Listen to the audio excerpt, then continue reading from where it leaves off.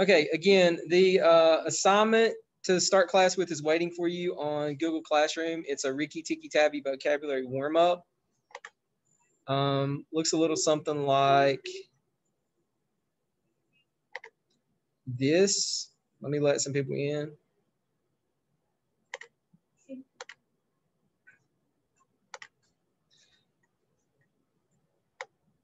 Okay. Uh, once you get to the assignment, you'll notice the first page, it's a, it's a two page uh, layout, but the first page is just the vocabulary lists. It's list one and list two. Um, I'll just go over the words balancing, bread, brood, clinched, fraction, peculiar, splendid, thickets, and it gives you a vocabulary description as well as an example of the terms. Word list B says bungalow, inherited, paralyzed, revived, savagely, scornfully, scuttled, and valiant. Okay. And then on the second page, you will notice that there are two vocabulary exercises um, where you have to fill in the blanks. So fill those blanks in and send that back to me, and we'll get started on the story, Rikki Tikki Tavi.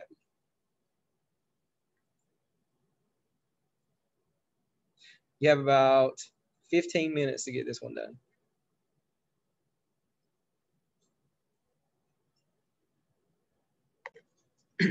done.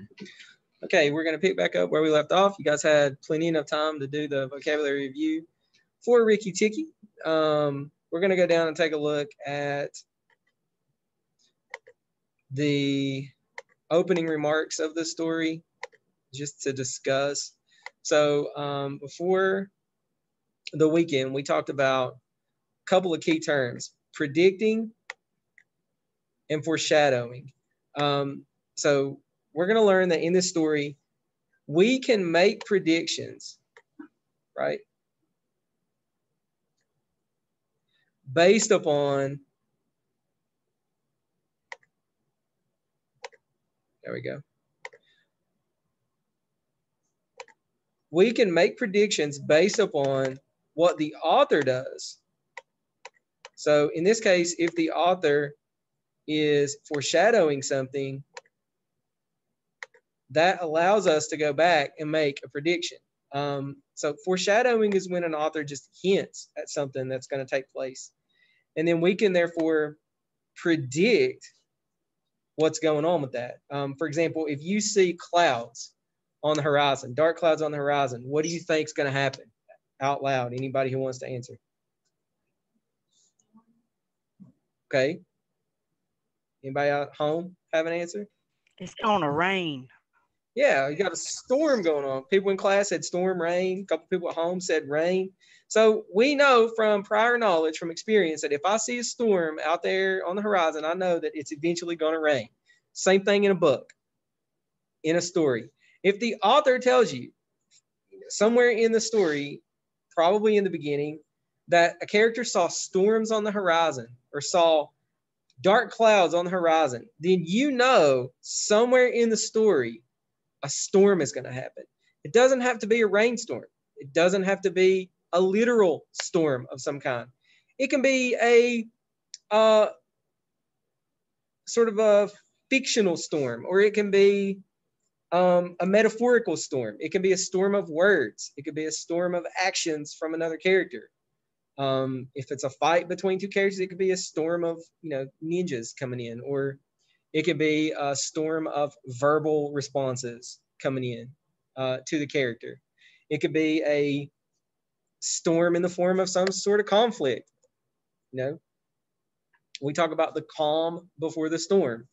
Doesn't always have to be a real storm. It can be a fictional, metaphorical storm.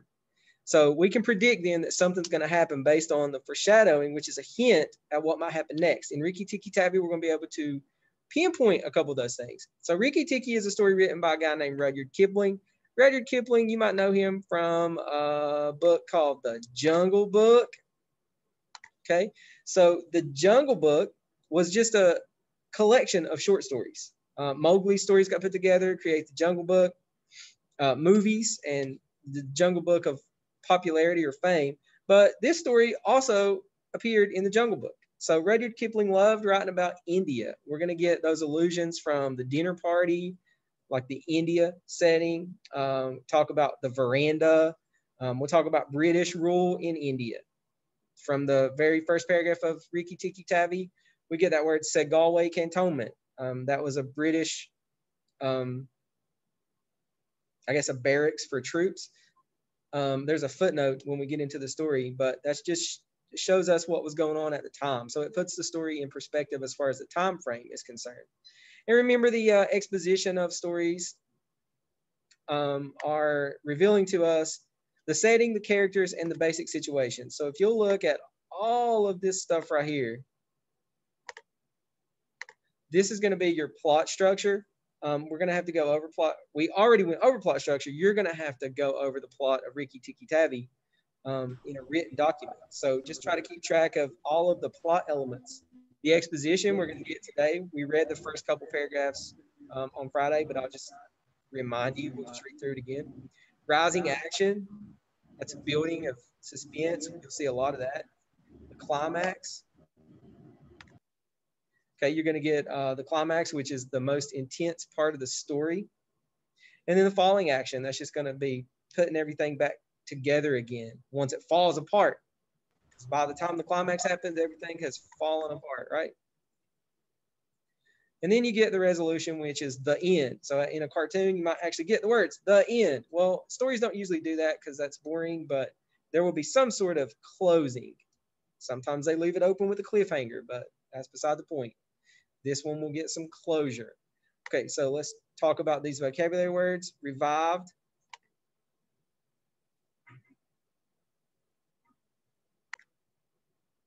Um, these vocabulary words are not exactly the same ones that appeared in the activity that you did today. Those were additional vocabulary words.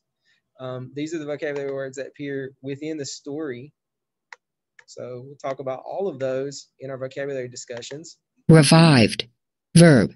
Came back to life or consciousness. Mourning. Adjective. Expression of grief, especially after someone dies.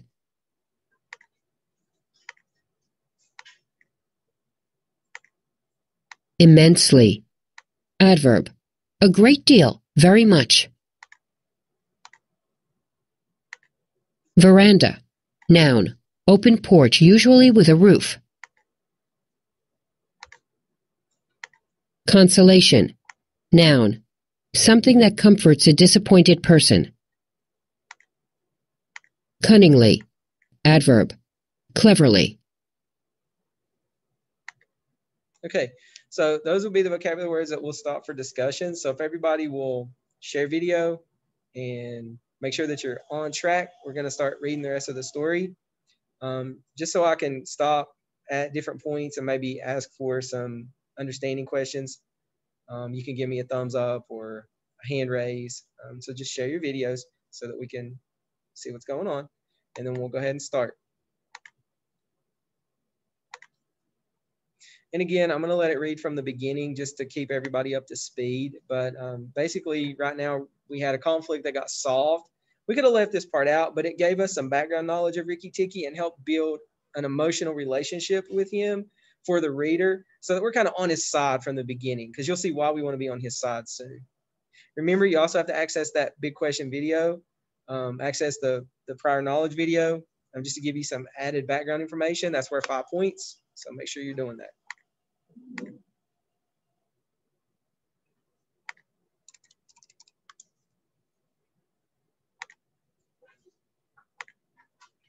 Rikki Tikki Tavi, Rudyard Kipling. This is the story of the great war that Rikki Tikki Tavi fought single-handed through the bathrooms of the big bungalow in Segowlee Cantonment. Darzee the tailor bird helped him, and Chuchundra the muskrat who never comes out into the middle of the floor but always creeps round by the wall, gave him advice. But Rikki Tikki did the real fighting. He was a mongoose, rather like a little cat in his fur and his tail, but quite like a weasel in his head and his habits. His eyes and the end of his restless nose were pink. He could scratch himself anywhere he pleased, with any leg, front or back, that he chose to use. He could fluff up his tail till it looked like a bottle brush, and his war cry as he scuttled through the long grass was, Ricky ticky ticky ticky ch. One day, a high summer flood washed him out of the burrow where he lived with his father and mother and carried him kicking and clucking down a roadside ditch.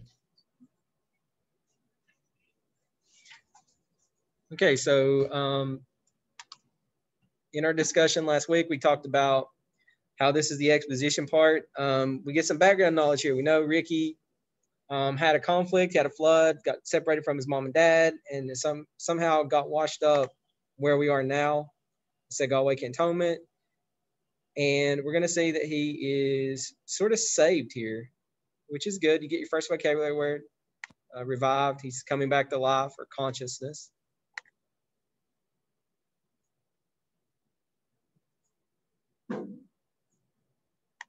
He found a little wisp of grass floating there and clung to it till he lost his senses.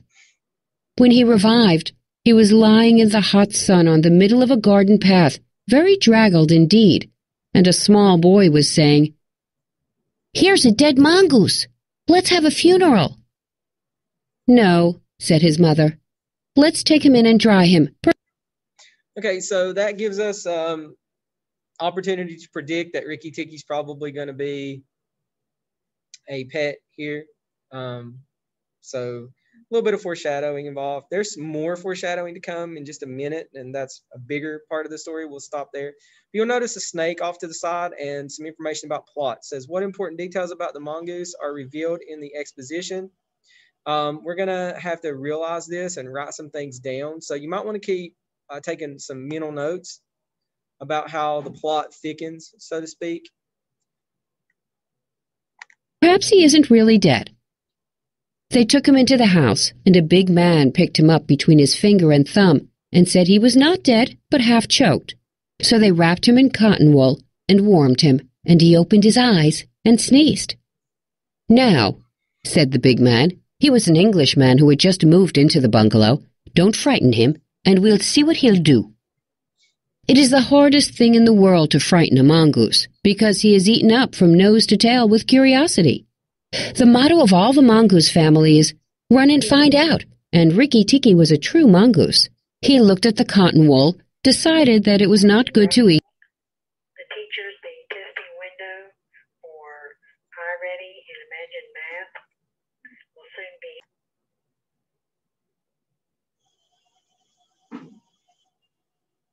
be. Ran all round the table, sat up and put his fur in order, scratched himself, and jumped on the small boy's shoulder.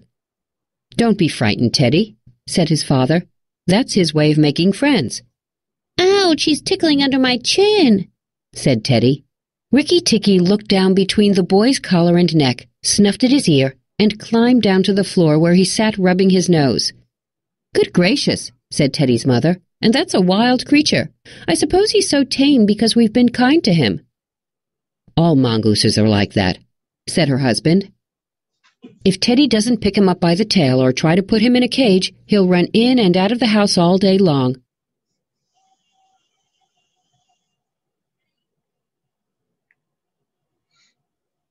Okay.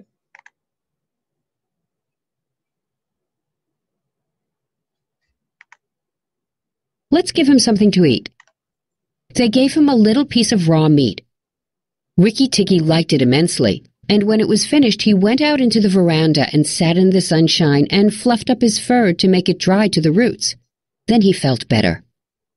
There are more things to find out about in this house, he said to himself, than all my family could find out in all their lives. I shall certainly stay and find out.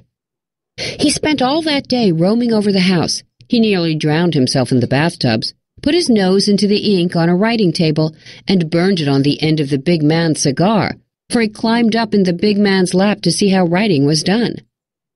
At nightfall, he ran into Teddy's nursery to watch how kerosene lamps were lighted.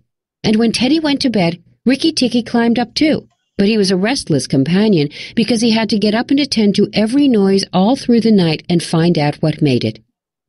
Teddy's mother and father came in, the last thing, to look at their boy, and Rikki Tikki was awake on the pillow. I don't like that, said Teddy's mother. He may bite the child. He'll do no such thing, said the father. Teddy's safer with that little beast than if he had a bloodhound to watch him. If a snake came into the nursery now. But Teddy's mother wouldn't think of anything so awful. Okay, so at that point, uh, when we look at this part right here,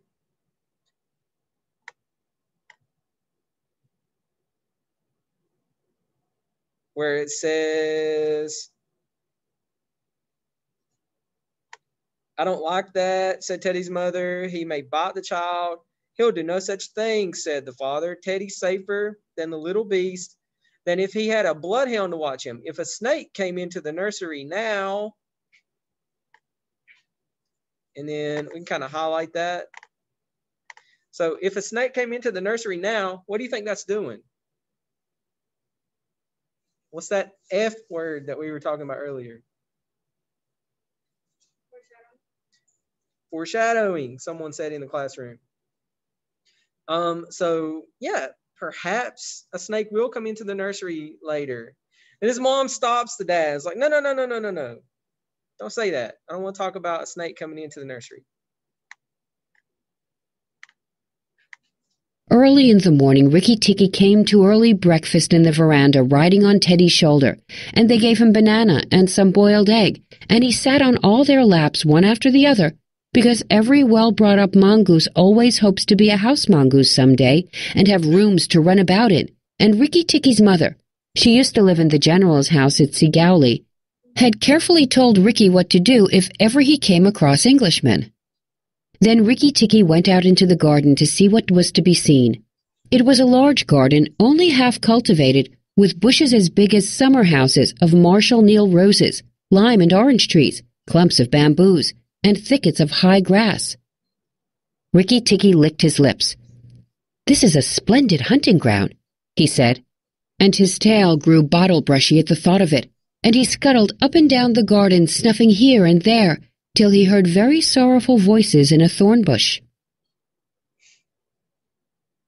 Okay, so we get this idea of a half cultivated garden, and we talk about all these different plants. I have an activity for you later that discusses the garden. I also have um, another story for you that you're going to read after we finish this story. It's on Common Lit, um, and there will be five questions for you to do, but it's about a cobra in the garden. Um, it kind of gives us a positive view of a cobra. We've read two stories now that give us negative views of the cobra, the dinner party and Rikki Tikki Tavi. So um, we're going to get uh, at least one positive aspect of it um, just to keep things um, in perspective. Is there always two sides to every story? Um, there's Rikki's perspective, and then there's going to be the Cobra's perspective. And we're about to meet him. So let's think about that.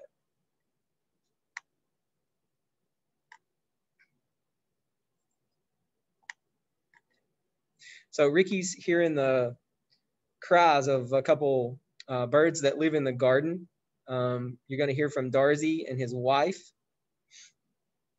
His wife is never mentioned uh, by name, but um, she's a strong character throughout the story that refers back to the dinner party as well. The women characters in this, um, at least the animal ones, tend to be pretty strong, and you'll see that in just a second. It was Darzee, the tailor bird, and his wife. They had made a beautiful nest by pulling two big leaves together and stitching them up the edges with fibers, and had filled the hollow with cotton and downy fluff. The nest swayed to and fro as they sat on the rim and cried. What is the matter? asked Rikki Tikki. We are very miserable, said Darzee. One of our babies fell out of the nest yesterday, and Nag ate him. Hmm, said Rikki Tikki. That is very sad, but I am a stranger here. Who is Nag? Darzee and his wife only cowered down in the nest without answering. So Rikki asked a very important question. Who is Nag? doesn't know anything about Nag. He just got there, hasn't had any um, association with with any other animals except these guys. So you know, he's just kind of asking, "Oh, who's Nag?" Um, and, and they don't say that um, it was a cobra, but we get the in, indication very shortly, and it comes about in kind of a weird way, and you'll see what I mean by that in just a second. They're gonna explain what's going on here. Um, you can almost hear some music playing in the background and see like a shark fin coming up out of the water. If you listen closely, just listen to the description of this. For from the thick grass at the foot of the bush there came a low hiss, a horrid cold sound that made Rikki Tikki jump back two clear feet. Then inch by inch out of the grass rose up the head and spread hood of Nag, the big black cobra, and he was five feet long from tongue to tail. When he had lifted one third of himself clear of the ground, he stayed balancing to and fro exactly as a dandelion tuft balances in the wind, and he looked at Rikki Tikki with the wicked snake's eyes that never change their expression, whatever the snake may be thinking of. Who is Nag? he said. I am Nag. What an introduction that was. So you get this entire paragraph of this looming villain in the background coming into the scene. And it almost feels like like a Jaws movie or something because you see him coming up out of the grass ever so slightly and you almost hear that music. So that's a mm-hmm. really good introduction. What is it? when he said when they when the thing like red coming up in my mind the the, the jaws Yeah, you could hear that. Da da da da da da da da da.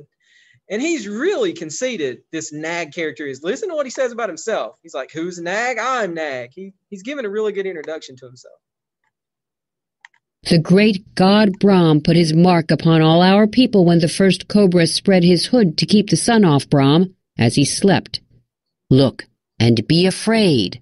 He spread out his hood more than ever, and Rikki Tikki saw the spectacle mark on the back of it that looks exactly like the eye part of a hook and eye fastening. He was afraid for the minute, but it is impossible for a mongoose to stay frightened for any length of time and though Rikki Tikki had never met a live cobra before, his mother had fed him on dead ones, and he knew that all a grown mongoose's business in life was to fight and eat snakes. Okay, so Rikki's had the taste of snake, knows what it's like, and it says he was afraid, but for not very long, because Nag was really intimidating. So Rikki has to kind of sit back and say, "Hmm, okay, I got your number." He's looking at this snake like, "I don't know that you think you're bad, but you don't know about me." But that's the thing. Nag does know about him. Listen to what it says about Nag in just a minute. Nag knew that too, and at the bottom of his cold heart, he was afraid. Right. So Nag's heard about these mongoose creatures as well. And it doesn't say anything about him not staying frightened for too long, does it? It just says at the bottom of his cold heart, he was afraid. So he was talking himself up, acting all big and bad, but he was really afraid. And those are the most dangerous kinds of villains because they're unpredictable, the scared ones.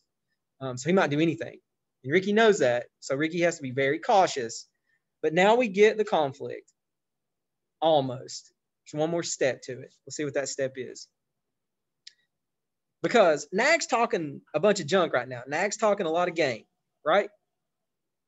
He's doing that as a distraction. Wonder what he's distracting Rikki Tikki from. Anybody have any ideas? an attack An attack from who? um, either another snake Another snake, maybe? Or what'd you say? either another snake or like he's gonna try to run away. Okay, maybe another snake. Let's see. Well, said Rikki Tikki, and his tail began to fluff up again. Marks or no marks, do you think it is right for you to eat fledglings out of a nest? Nag was thinking to himself and watching the least little movement in the grass behind Rikki Tikki. He knew that mongooses in the garden meant death sooner or later for him and his family, but he wanted to get Rikki Tikki off his guard. So he dropped his head a little and put it on one side. Let us talk, he said. You eat eggs. Why should not I eat birds? Behind you, look behind you, sang Darzee. Rikki Tikki knew better than to waste time in staring. He jumped up in the air as high as he could go, and just under him whizzed by the head of Nagaina, Nag's wicked wife. She had crept up behind him as he was talking to make an end of him, and he heard her savage hiss as the stroke missed. He came down almost across her back, and if he had been an old mongoose, he would have known that then was the time to break her back with one bite. But he was afraid of the terrible lashing return stroke of the cobra. He bit indeed, but did not bite long enough, and he jumped clear of the whisking tail, leaving Nagaina torn and angry. Wicked, wicked Darzee, said Nag, lashing up high as he could reach toward the nest in the thorn bush. But Darzee had built it out of reach of snakes, it only swayed to and fro. Okay, so we get a new character introduced here, maybe even more sinister than Nag. The story even refers to her as his wicked wife, right? So we get his wicked wife coming into play here. She's mean. Also seems to be the boss because she's the one who probably devised this plan, this plan, sneaking up behind him, sent her husband out to get him off guard, and then she was going to creep up from behind and attack. So we have to ask the question who struck first here? Who drew first blood? Nag and Nag's wife. Yeah. So they came into the scene and they attacked right off the bat. So that's our conflict. And Rikki has nothing else to do but retaliate for fear of his own life. I mean, he's got to do something with these snakes. So he knows that they're just going to try to get him at, at no no matter what cost. So now we have a conflict. So let's think about that as we read on for just a minute.